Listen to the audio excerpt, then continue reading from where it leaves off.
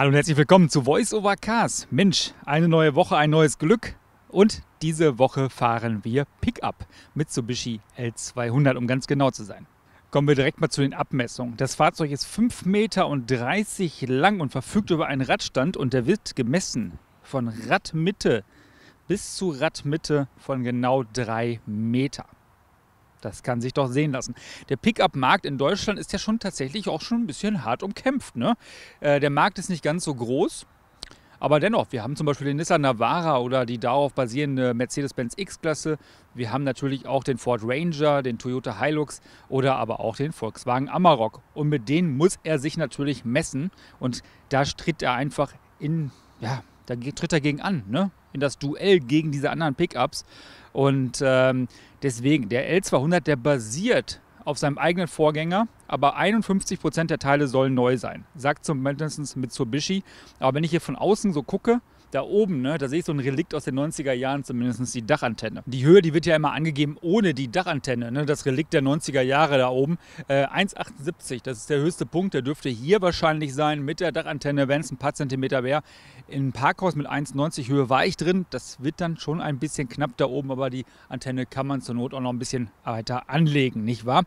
Inklusive Außenspiegel ist das Fahrzeug 2,15 Meter breit, dürfte also auch auf die linken Spuren na, auf der Autobahn, wenn da eine Baustelle ist. Aber ganz ehrlich, auf der Autobahn, da fühlt er sich doch gar nicht so wohl, oder? Also meiner Meinung nach nicht. Wir haben vorne Scheibenbremsen, die sind auch ein bisschen vergrößert. Vorne auch klassische Federbeine. An der Hinterachse haben wir Blattfedern, sechslagig und Trommelbremsen tatsächlich. Ja, ob das so gut ist, das äh, erfahrt ihr spätestens beim Fahreindruck. Sofort ins Auge sticht natürlich die neue Front. LED-Scheinwerfer, klassische Leuchtmittel tatsächlich noch bei den äh, Blinkern und bei den anderen Scheinwerfern hier drunter. Aber LED-Scheinwerfer hier oben und auch eine schöne Lichtsignatur eigentlich so vom, vom Tagfahrlicht bzw. vom Standlicht. Scheinwerferreinigungsanlage haben wir auch. Ansonsten haben wir hier das Mitsubishi-Logo und hier vorne ist eine Kamera versteckt. Das bedeutet natürlich 360-Grad-Kamera. Natürlich haben wir hier. Kennzeichen ist ganz schön hoch, ne? Macht natürlich auch Sinn, denn wir haben eine Warttiefe von 50 Zentimetern. 500 Millimeter genau. Und jetzt bekommt ihr von mir noch mal ein paar weitere Offroad-Werte um die Ohren gehauen. Aber weil sich das natürlich nicht jeder merken kann und ich schon gar nicht, habe ich wieder meinen digitalen Spickzettel hier. Also, was haben wir denn? Wir haben eine Watttiefe von 50 cm, habe ich gesagt, Kippwinkel 45 Grad, 70% Steigfähigkeit, Allradantrieb ist klar, Hinterachse sperrbar, Rampenwinkel von 24 Grad, Böschungswinkel vorne 30 Grad, hinten sind 22 Grad und eine Bodenfreiheit von 20,5 cm. Und das kann sich doch definitiv sehen lassen, meiner Meinung nach. Sehen lassen kann sich auch definitiv meiner Meinung nach die Optik an der Front. Ich mag das auch mit den Sicken hier. Und wir machen mal jetzt schon mal ganz schnell den Scheibenwischer-Test. Das geht auch. Wir haben hier auch so Aerowischer, Anbremsdruck, der passt.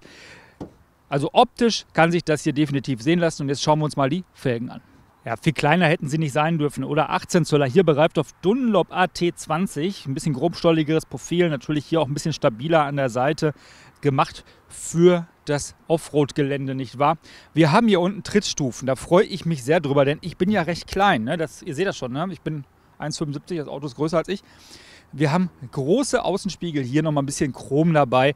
Äh, auch hier Chrom und hier ist die Taste zum Öffnen, denn wir haben hier Keyless Go tatsächlich. Ne? Ein bisschen Luxus zieht hier auch ein. Und ab der B-Säule verdunkelte Scheiben hinten. Hier hinten ist kein Griff, aber guckt mal, was wir hier haben. Wir haben hier die Kraft der zwei Tankklappen.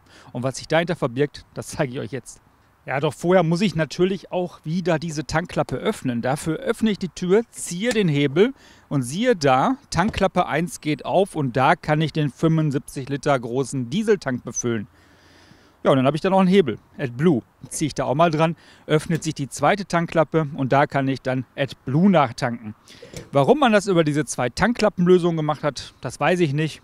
Mich stört es optisch jetzt auch nicht so, ob ich da jetzt eine Klappe habe oder zwei.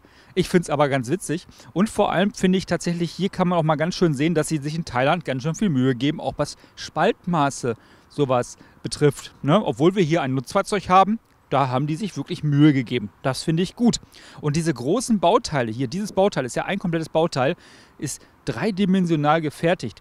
Man könnte schon fast sagen, also wenn das ein Audi wäre, dann würden wir sagen, wir betonen hier den Allradantrieb auf der Hinterachse. Der hat hier richtig einen Stance, äh, wenn man sich das von der Seite mal anguckt.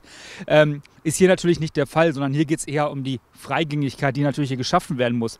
Wie gesagt, auch hinten die großen 18 Zöller drauf, dahinter sechslagige Plattfedern und die sorgen natürlich hier bei diesem Fahrzeug auch dafür, dass wir eine hohe Zuladung haben. Nämlich über einer Tonne kann ich hier zuladen tatsächlich. Und jetzt kommen wir noch mal ganz kurz zum Heckdesign. Wir haben klassische Rückleuchten bzw. mit ganz herkömmlichen Leuchtmitteln eine relativ stabile Stoßstange, zumindest hier drunter nochmal ein richtiger Träger, der auch nochmal richtig was ab kann. Hier sind die Parkpiepser, Anhängerkupplung haben wir natürlich auch, da kommen wir noch zu.